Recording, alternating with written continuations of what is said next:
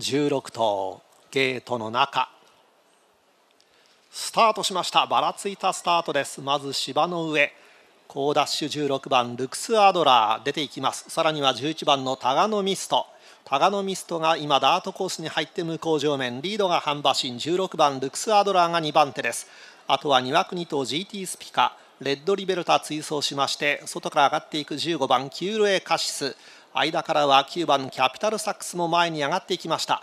あとは2馬身差中団の前に7番のテキーラワルツ追走あとは3馬身下がりまして13番パルマノーバが行ってさらには外からはタマモプルメリアそしてその外に12番のドレアンティアです。これから3コーナー馬群の中には追走していきます。5番のブラーブミノル前には1番のトッピゴー内をついて上がっていきます。あとは湘南ラジアが行ってラジオアが行ってそして後方から3番手6番名将一輪そして12番のドレアンティアが追走して後方にと遅れています。14番レッツゴー光最高峰は2番エナジーフォルテ前は第4コーナーカーブから直線へ。